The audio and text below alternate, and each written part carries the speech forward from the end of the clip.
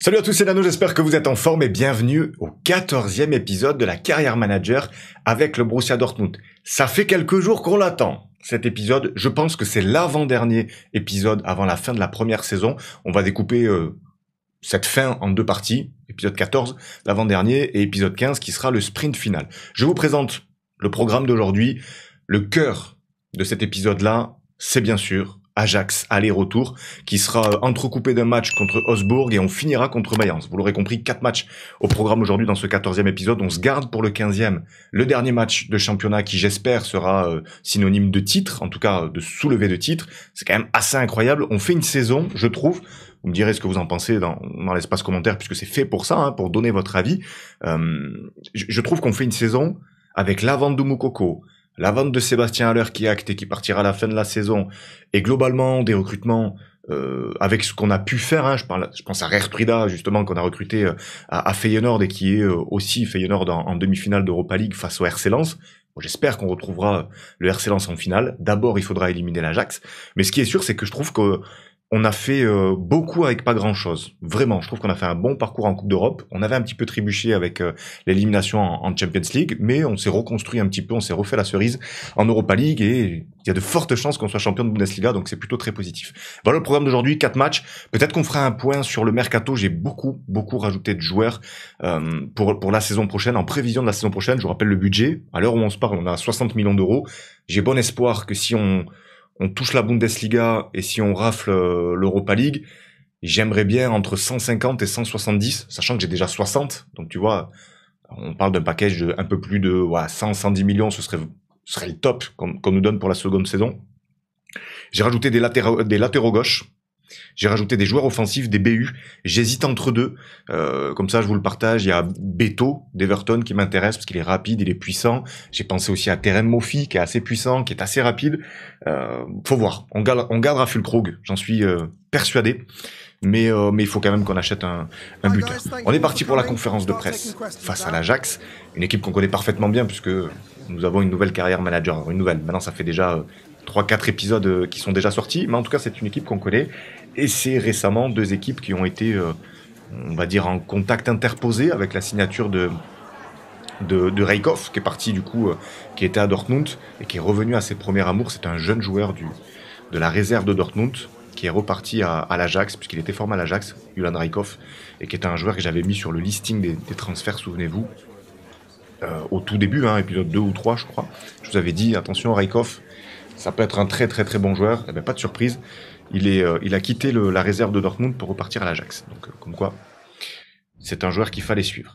Je fais ça et on se retrouve pour la compo. La composition qui va démarrer pour cette demi-finale d'Europa League aller face à l'Ajax Amsterdam. Pas de surprise. Un trio d'attaque Adeyemi, Sébastien Haller, Malen. Malen qui est pas mal, qui est en double-double. Je crois qu'il a plus de 10 passes et plus de, de 10 buts au cumulé de, de tous ces matchs de saison.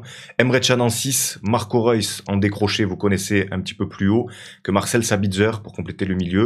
Et en défense, Ben Sebaini, Schlotterbeck, Niklas Zule, Rertuida et Kobel, notre meilleur euh, joueur en termes de général, et peut-être même notre meilleur joueur tout court, hein, parce que Gregor Kobel, ancien gardien de, de Stuttgart, est absolument incroyable. Je pense même que dans le top 3 en fin de saison, Hmm, je me demande si pour la première fois de l'histoire de, nos carrières managers sur YouTube, on va pas mettre un, un gardien, je pense qu'on l'a jamais fait, un gardien en numéro 1 parce que Kobel a été sensationnel. Euh, est sur le banc, Bino Gittens, Désiré Doué, Giovanni Reina, Oschan, Rierson et Kevin Danso. Et bien sûr, on souffre toujours de, manque au milieu avec la, la blessure de Julian Brandt et la fatigue de Félix Nmecha. Euh, de leur côté, il n'y a pas grand-chose. Ils ont euh, Brian Brobé euh, dans l'axe, ils ont Forbes à droite. Ils ont euh, l'avantage qu'ils ont, c'est qu'ils ont Bereus qui est euh, qui est suspendu. Tapons fort sur ce match aller. Mettons-nous dans les meilleures conditions pour le match retour qu'on jouera tout à l'heure au Westfalen Stadium et on verra on verra de quoi on est capable. J'aimerais, je me souhaite réellement une, une demi-finale gagnante aller-retour et une finale contre le RC Lens, ce serait fabuleux. Et si on va jusqu'en finale, on n'ira pas pour être finaliste, on ira pour être vainqueur. Installez-vous bien, on est parti pour 4 matchs et on démarre avec un des matchs les plus importants contre l'Ajax. La frappe d'Emre Can de voler, bon, il n'est pas le, le, meilleur dans cet exercice, mais, euh, mais en tout cas, le décalage était bon. On a senti, comme ça, tu vois, en défense centrale, j'ai vu qu'ils avaient Sutalo Medic. On a senti que Medic était un petit peu en retard, un petit peu perdu. Ça peut permettre à euh, des joueurs comme Emre Can ou, des joueurs comme euh, Sabitzer et surtout Marco Reus, qui sont dans le milieu de terrain, de venir euh, apporter un petit grain de sel offensif en plus pour créer du déséquilibre, pour créer vraiment des nouveaux espaces.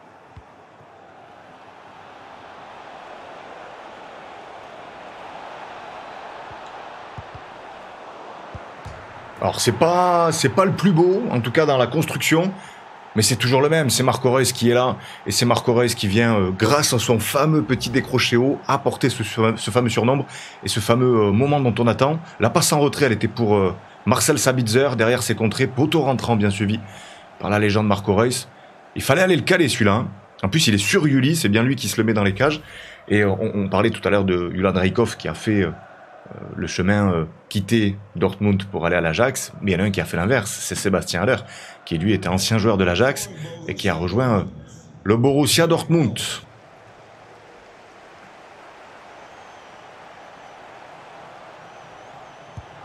Bon, l'égalisation, elle est du tac au tac. 23e hein. minute de jeu, égalisation du capitaine Steven Berwine. Franchement, il n'y a rien à dire. Il a pris le ballon, il a tracé tout droit. L'accélération, peut-être que ça peut être une vraie question à se poser sur le rôle de nos latéraux. Je suis pas en offensif. Mais ça vaut peut-être le coup de faire défendre Berwine, parce que Berwine s'est suspendu. Mais au moins Berwine de le faire euh, reculer et essayer de voir si euh, on peut l'avoir plus bas sur le terrain.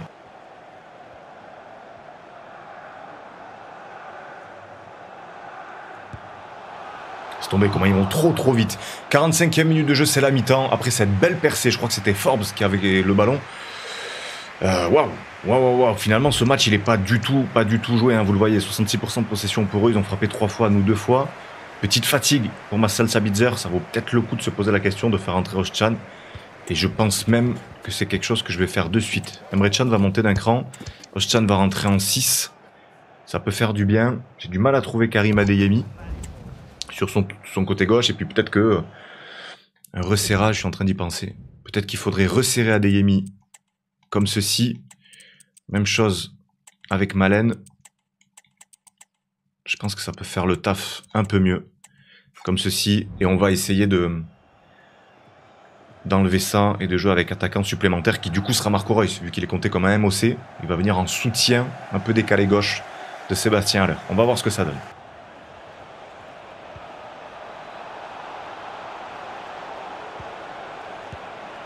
C'est parfait parce qu'on est en train de les forcer exactement comme on voulait les forcer à jouer et à défendre surtout. 68e, 58e euh, minute de jeu. Le but de Malen, ce qui s'est passé, c'est qu'on a l'heure qui est venu un petit peu dézoner à droite sur le couloir, en tout cas sur certaines formes de demi-espace. Et on a Malen qui est rentré intérieur. Et c'est ça que je voulais, en réaxant Malen et Adeyemi, c'est d'avoir plus de monde face au but de Riuli. Et franchement, rien à dire. Si on continue comme ça, un petit troisième but, ça nous mettrait ultra bien pour le match retour.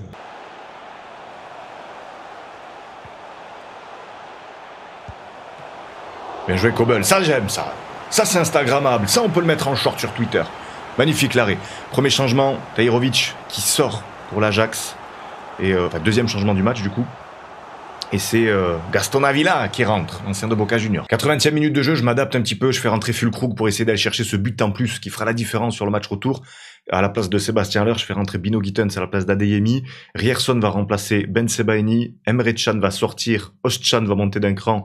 Et c'est Schlotterbeck qui va passer en 6. J'ai tellement de blessés au milieu axe. Enfin, tellement. J'en ai un, c'est Yuland Brandt. Mais comme il était fatigué, euh, Félix Nmecha du coup, on peut se poser la question de, de savoir si on n'a pas réellement un vrai manque d'un MC, c'est même sûr que oui. Et du coup, c'est Kevin Danso qui remplace euh, Emre Can. Voilà pour les changements. Je suis en train de me dire qu'en début d'épisode, je vous ai dit que je voulais un défenseur gauche. Il faut à tout prix un BU. Ça, c'est obligatoire puisque Fulkrug restera ce, cette espèce de super sub. Mais par contre, il faut un MC. C'est sûr à 100% qu'il nous faut un milieu axe.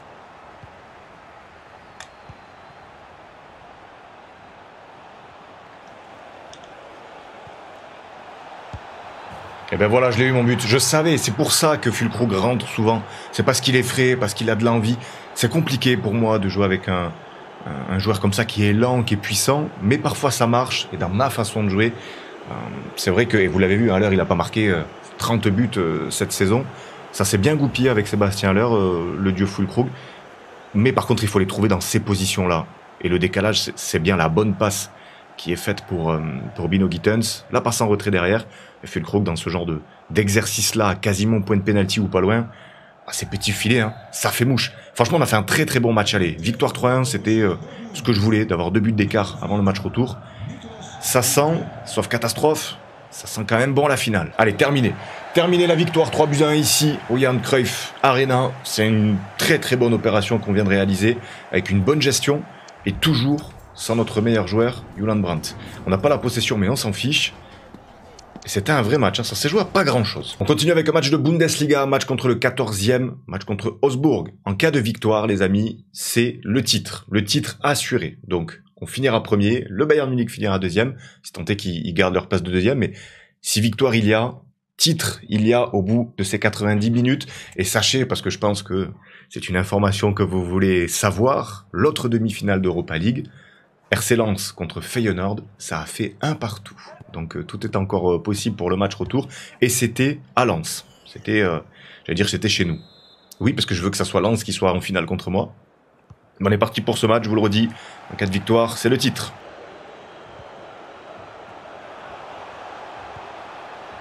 Elle est vicieuse, ça, la 20e minute de jeu. Le but de Karim Adeyemi, j'ai oublié de vous préciser qu'il était sur le côté droit, puisque Daniel Manet n'était pas à 100%. Adeyemi, droite, gauche, axe. C'est vrai que c'est des problèmes de riches, ça, hein, de savoir où tu fais jouer Adeyemi. Peut-être que c'est pas à gauche, peut-être que c'est plutôt à droite, son côté. J'en sais rien. En tout cas, Malen fait le taf. Hein, je vous disais, là, en double-double, euh, au, cumul de toutes les, compétitions, en termes de passes et de buts. Adeyemi, visiblement, se sent bien à droite, puisqu'il démarre fort ce match avec un but. Mais il peut jouer partout sur le front de l'attaque. Et du coup, j'ai Bino Gittens qui est à gauche et qui est aussi un, un très très bel espoir de notre équipe du B4B.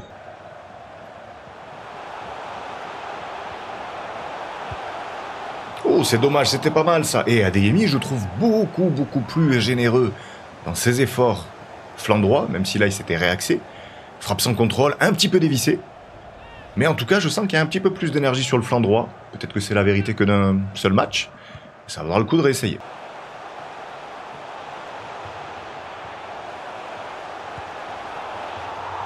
La bonne frappe de Félix Elmecha, bien repoussée par Damen, le gardien de Osbourg. Ils avaient acheté Eddie Nketia aussi, j'avais oublié mine de rien, ils avaient fait une équipe euh, pas si mal, pas si, euh, pas si déconstruite. Mathieu Mels, qui se match ce ballon de la tête, ça passe juste à côté, on met à la pression sur les buts d'Osbourg et c'est une très bonne chose. Ok, c'est la mi-temps, on est en train de gagner 1 à 0 dans ce match contre les 14e du championnat. Je crois qu'ils sont sûrs d'être sauvés ou pas loin. Ils n'avaient pas beaucoup de points par contre, je crois qu'ils avaient une vingtaine de points un 14e.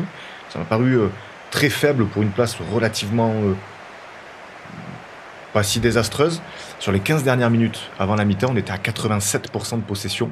Et ça se ressent au global des 45 minutes. 58% de possession pour nous, 42 pour eux. C'est un bon match. C'est un bon match. On retrouve Mathieu Mels. On retrouve Désiré Doué qui ce coup-ci est décroché euh, à droite. Match précédent, c'était décroché à gauche avec Marco Reus. Franchement, le trio d'attaque euh, fait bien son taf. Et ça se ressent.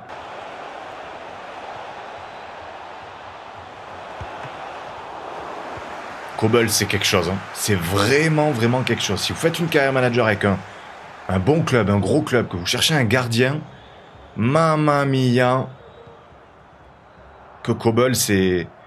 C'est du petit lait. Hein. Oh là là 60e minute de jeu, à peine passé, de changement pour nous. L'entrée de Fulkrug à la place de Sébastien Haller et l'entrée de Wolf à la place de Rertruida qui est sur les genoux. Il est complètement euh, cuit, il n'arrive plus à accélérer, donc il sort.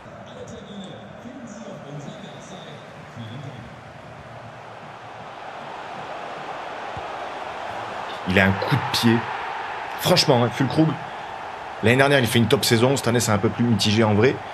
Mais il a un vrai coup de pied. En tout cas, sur le jeu, bon, tu le mets dans les bonnes conditions. Ça fait deux matchs en deux. Deux buts en deux matchs plutôt. Pour lui.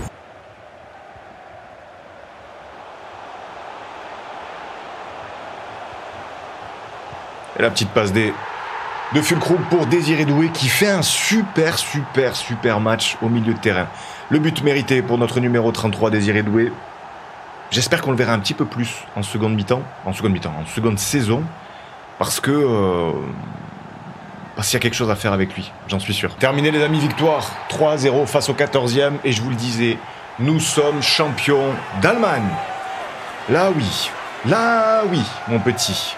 Et ça se voit sur ces images. Alors, on va pas voir la remise du trophée. Mais par contre, ça y est, les joueurs sont au courant. En cas de victoire, on était champion d'Allemagne. C'est fait.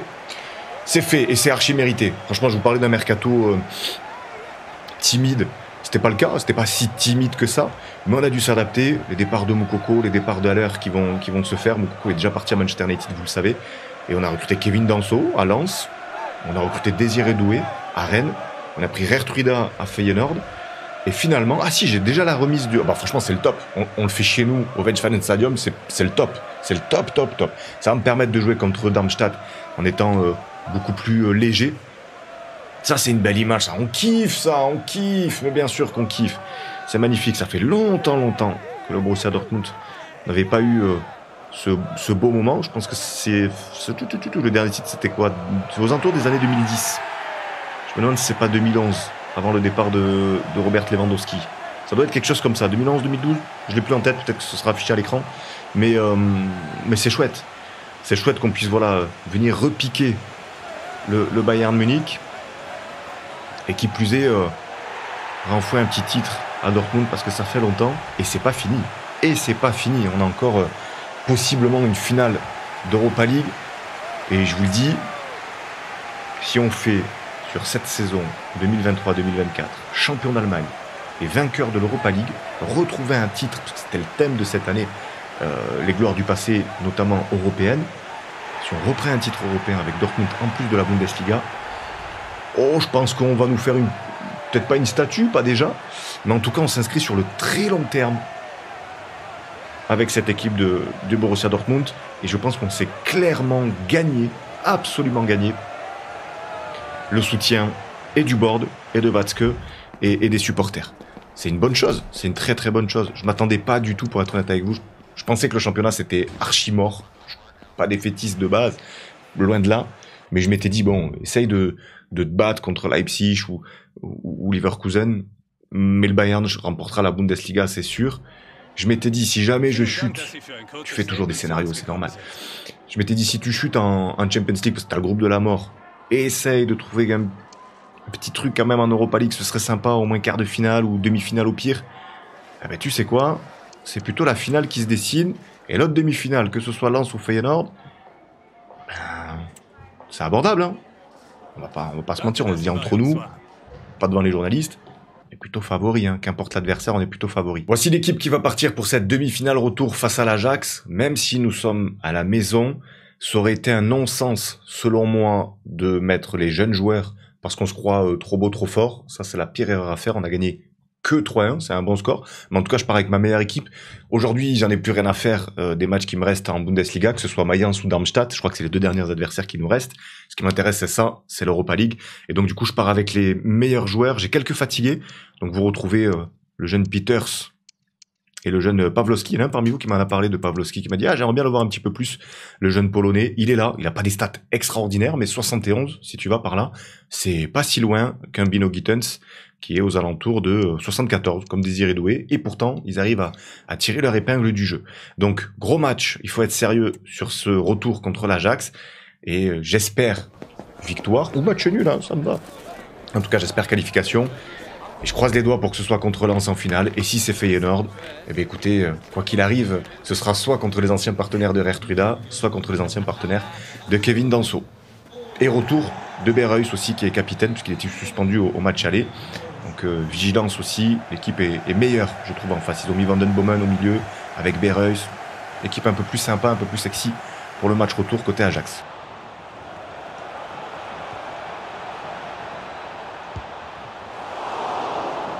Ok, ça a bien tricoté dans notre surface.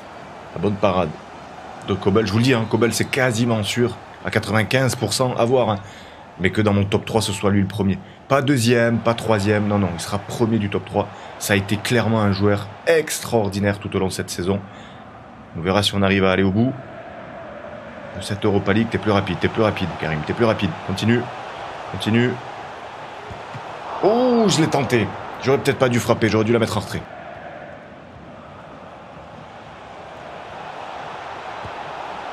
C'était sûr. Ils sont mille fois, mille fois meilleurs qu'au match aller. 28e minute de jeu, le but de Bereus qui leur aura beaucoup, beaucoup, beaucoup manqué sur le match aller. Comme quoi, parfois, euh, la différence d'un seul homme peut tout changer. Le placement est bon, tranquille, ça fait 3-2 au cumul des deux matchs, mais la dynamique, elle est clairement du côté d'Amsterdam.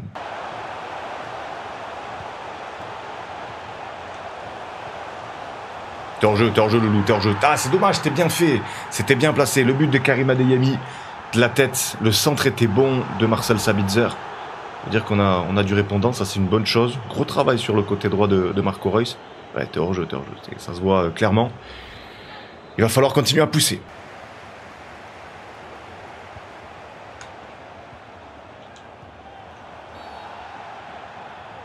Elle est bien cette faute. Elle est bien Marcel. Soldat Marcel Sabitzer qui, euh, qui fauche Steven Berwine, c'est normal. Carton jaune. Oh même, oh non, mais non, mais c'est quoi ça? C'est jaune qu'il fallait mettre. On est loin du but. Il a, a c'est pas le dernier défenseur, c'est pas, voilà. Il est pas beau le tac, mais bien sûr qu'il est pas beau, mais c'est pas rouge. Mais arrête tes un peu, c'est quoi ça? Tout est contre moi. Jaune, c'était ok jaune, mais pas rouge.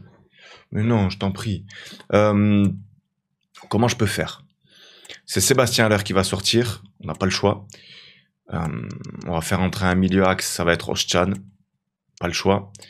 On va inverser ça et ça. On va resserrer. Tu vois, je vais te sortir un truc du chapeau magique. Est-ce qu'on y croit à la qualif? Absolument. Hop, on va dégager Marcel. C'est dommage, c'est dommage que ce soit rouge. Je trouve que c'est un peu... Un peu beaucoup sévère, hein, si vous voulez mon avis. Et Adeyemi, si je le mets en décroché comme ça... Tac, attention, pas être trop toi. On tente un truc comme ça. Adeyemi en, en attaque en soutien, Malen en pointe. Et après, la base ne change pas. Euh, au milieu et en défense. Globalement, il faut que je sache que j'arrive à trouver mes joueurs plutôt dans l'axe, complètement dans l'axe même, et plus du tout d'animation côté. On a 45 minutes. 45 minutes pour être fort, messieurs.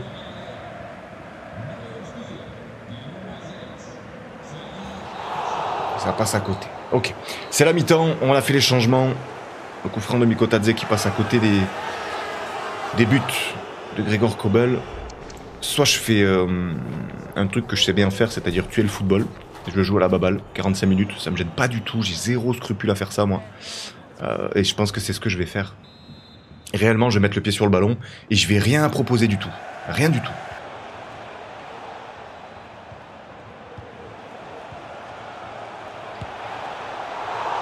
Je t'aime trop, Grégor. Grégor Kobel, je t'aime trop, épouse-moi. Faisons un enfant ensemble, s'il te plaît.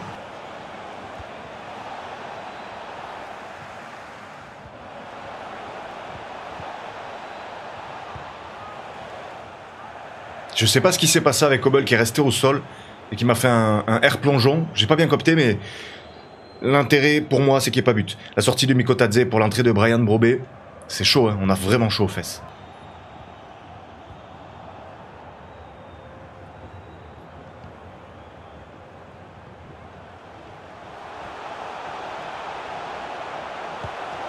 Ben celui-là, c'est quoi?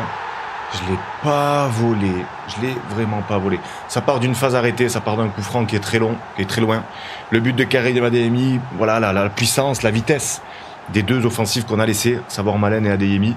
Derrière la prise de balle, on resserre. Forcément, quand on resserre, ben, on est plus rapide que quasiment n'importe quel défenseur avec Karim Adeyemi. La puissance de frappe.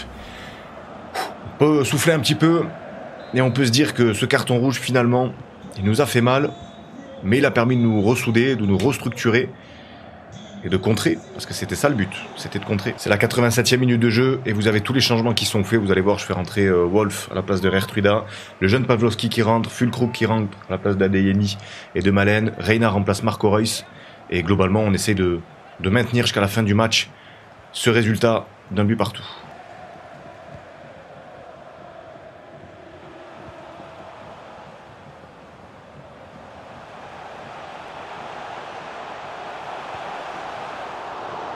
C'est improbable, mais je prends. La victoire dans les dernières secondes, 94e minute de jeu, le but d'Emre Can, ça part d'un dégagement de Grégor Kobel qui arrive directement sur. Euh, je sais pas si c'était pas Fulcro, je sais pas qui qui était sur le long là. Non, c'est qui? Ah, c'est Reina, c'est Reina numéro 7 et qui derrière a été faire une frappe euh, très timide, repoussée par Yuli, ça tombe dans les pieds d'Emre Can et du coup c'est la victoire. Franchement, Je pensais qu'on allait tuer le football. Eh ben, rien du tout. C'est une des meilleures adaptations que j'ai pu vous proposer à 10 contre 11. La victoire contre l'Ajax ici. Et c'est direction la finale. Yes Direction la finale. On va voir contre qui. On reste ensemble. Roulement de tambour. C'est yes C'est contre Lens. Ils avaient fait un partout chez eux. Ils ont gagné 2-0 contre Feyenoord. La finale, ce sera Lens face à Dortmund.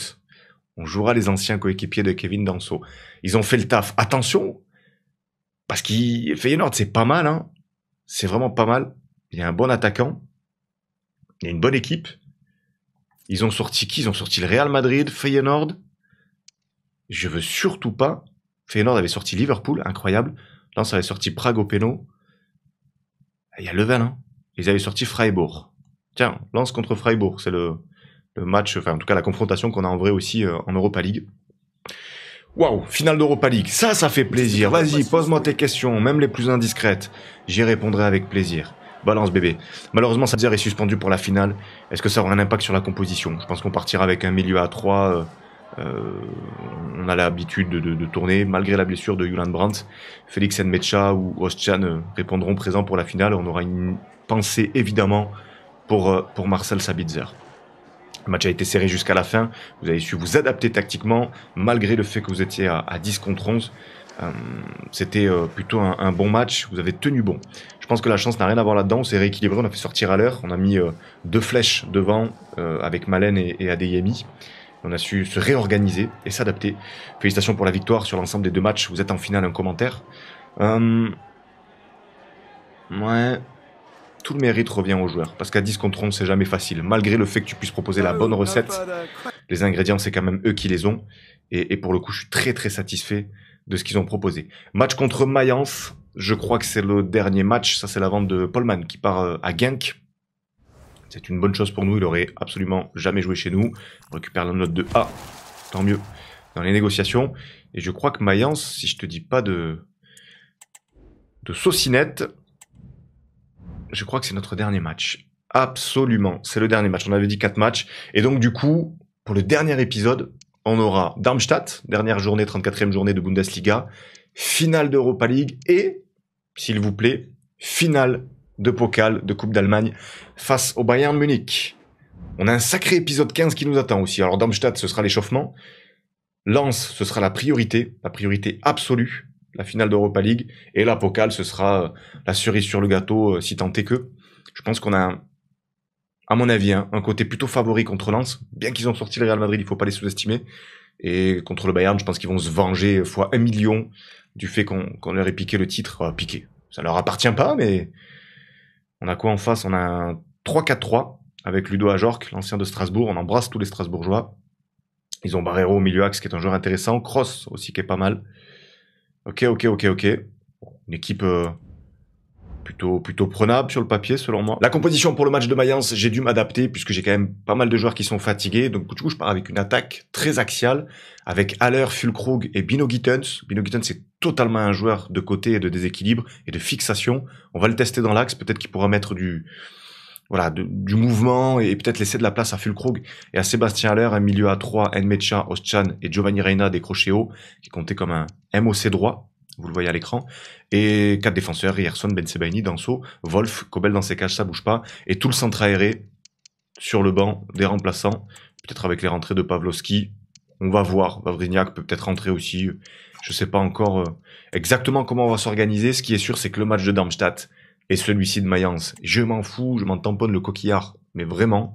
Et on aura du temps de repos pour euh, les échéances à venir, à savoir la finale d'Europa League contre Lens et la finale de Pokal contre le Bayern Munich. Je veux dire, je peux prendre 4-0 là, ça va me faire un petit peu chier, mais globalement, ça sera pas très important puisque nous sommes déjà champions. Elle était pas mal cette frappe. La frappe de Oschan, septième minute de jeu, c'était très bien trouvé, c'était très bien construit. Comme quoi, on est capable de belles choses avec cette équipe de Dortmund, même si on n'est pas dans la surface. Ok, 50e minute de jeu, c'est terminé, c'est la mi-temps, on aura joué un petit peu plus que prévu, 0-0. Ça se passe assez bien, voilà, je vous mets euh, que les buts, j'ai laissé la première action, je crois, la frappe de, de Mais sinon, bon, c'est un match qui est disputé, on a des frappes. Comme toujours, on a un bon Gregor Kobel, carton jaune pour Reina. Il s'est pas passé non plus des dingueries de fou. Et de toute façon, je vous mets que les buts dans ce dernier match de l'épisode 14.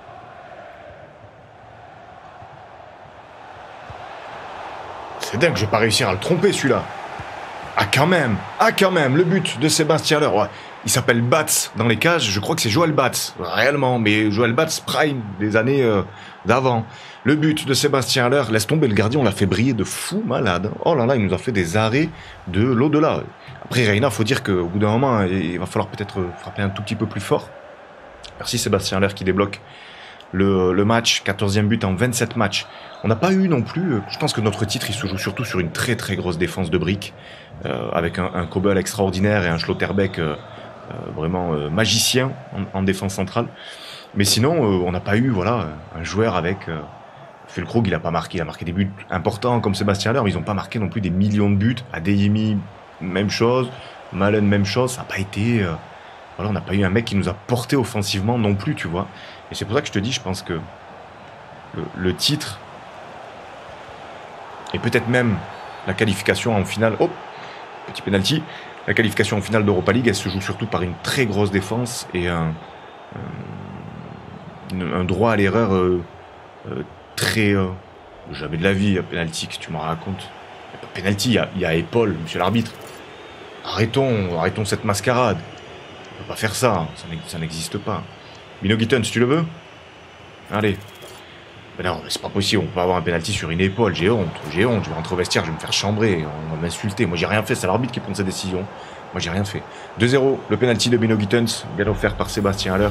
Une espèce de, de passation entre le futur joueur du Bayern Munich et peut-être la future star du Borussia Dortmund. 74e minute de jeu, entrée du centre aéré, tout le centre aéré, Pavlovski, Sech, Simon, Peters et Kupra. Je fais sortir Ben Sebaini, Danso, Rierson, Bino Gitsens et Giovanni Reina. Je fais vraiment euh, tous les changements. Ils auront 20 euh, petites minutes pour s'exprimer.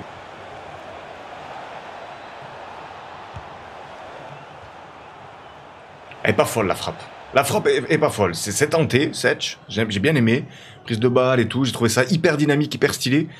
Bon, la frappe, mon frérot. Et... Ok, c'est terminé. Victoire 2-0 contre Mayence dans ce dernier match du 14e épisode. Globalement, on a été euh, plutôt bon. On s'est fait peur contre l'Ajax au retour avec la, sortie de, de Marcel Sabitzer. Mais je suis très très content de ce qu'on a proposé dans ce sprint final. Le Bayern a gagné 2-0 contre Wolfsburg.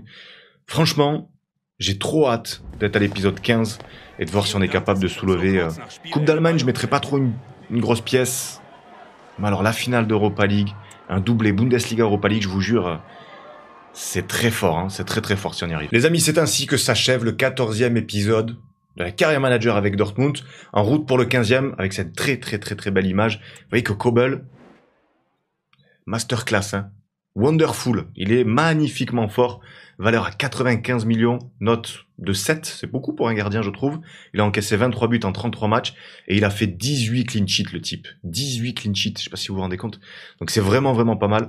Je pense qu'on a euh, un dernier match à jouer contre Darmstadt, ils sont derniers, je vous le dis, ils sont 18e du championnat.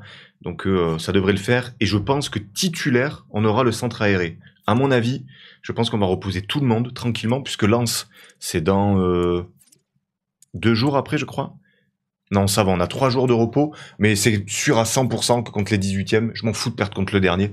Je, vais faire jouer tous les jeunes, c'est une, quasi-certitude. J'ai pas besoin de record de points en Bundesliga, je m'en fous complet d'une 25e victoire. Ce qui m'intéressait, c'était le titre. J'y croyais pas trop, et pourtant, et de façon, ça peut sauver Darmstadt, s'ils nous battent. Oui, ça peut les sauver en plus. Ça peut les sauver et condamner peut-être Francfort, ce qui, euh, footballistiquement parlant, nous intéresserait sûrement parce que Francfort fait pas une saison de fou, c'est exceptionnel qu'il soit 15e, par contre Darmstadt, c'est assez logique qu'il soit 18e. Peut-être qu'on aura des joueurs à l'échipa à l'Eintracht Francfort si jamais ils descendent. Bref, les amis, c'est la fin de cet épisode. J'espère que vous avez passé un bon moment en ma compagnie. Je vous embrasse très fort. On va se voir cette semaine. Attention, préparez-vous. Pas d'embrouille avec vos meufs, avec vos gars, des trucs comme ça, là. Parce qu'on va se voir beaucoup. Vous allez passer du temps avec moi. Moi, ça me convient et ça me fait plaisir. Mais ne faites pas une overdose de moi. Je vous aime. Prenez soin de vous. C'était Nano. À très vite. Ciao!